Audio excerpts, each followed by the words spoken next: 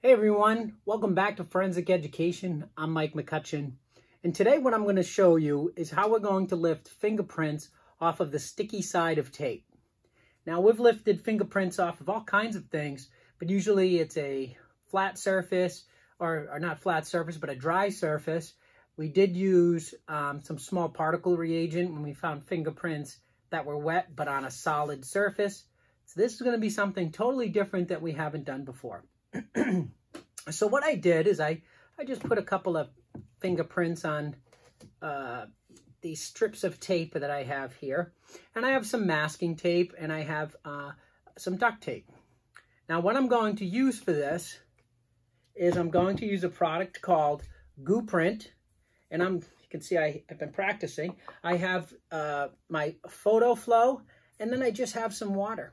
I just have some water. And the way that I'm going to make a solution to then paint on to my tape. And the way that works, it will look like this.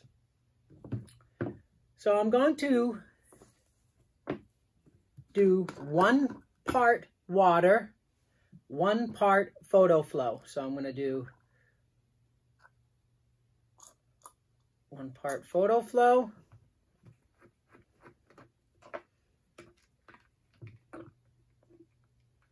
one part water.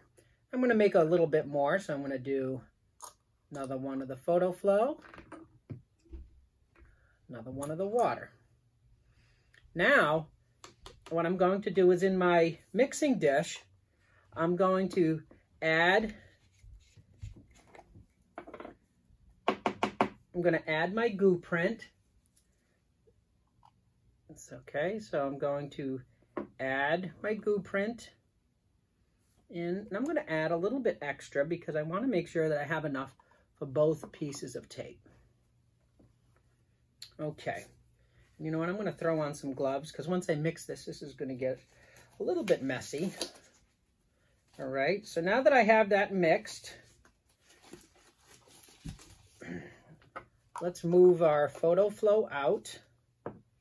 Let's get our water ready for rinsing. We're going to use that to rinse.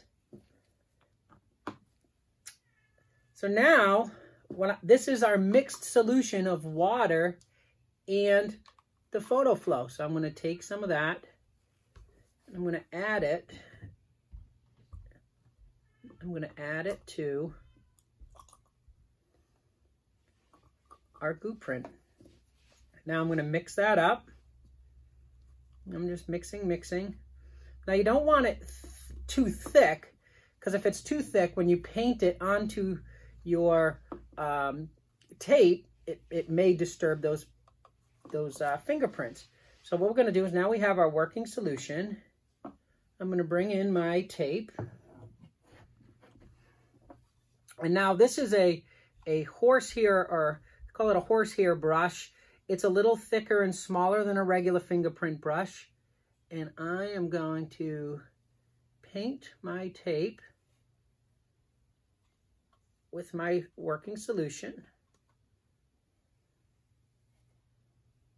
Oh, that's looking nice. There we go. So we really want to make sure that all of the tape is covered. Now, now that we have our prints covered, if you leave this on here too long, it won't wash off. So you have to make sure, you don't have to go super fast. You want it to really uh, interact with that fingerprint. But if you do wait too long, you're going to lose the print. Or you, you're not going to be able to rinse it and you'll lose the print. So now what we're going to do, oops, this is just water. And I'm going to, oh, these are popping. Oh, look at those.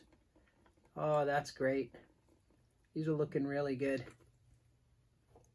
Just getting some of that excess water off. These are looking really good. Try to get the, oh yeah. Oh yeah. All right. So the trick is once I rinse it, I don't want to rinse off my fingerprint, like I can see some. So the rinsing is an art. So now I, I can see these prints. You can see a lot of them on here.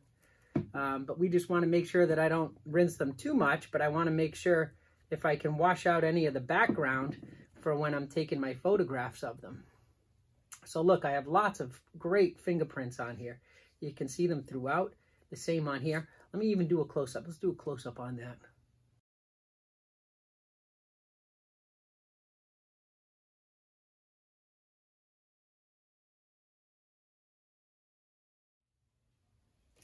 Okay, perfect.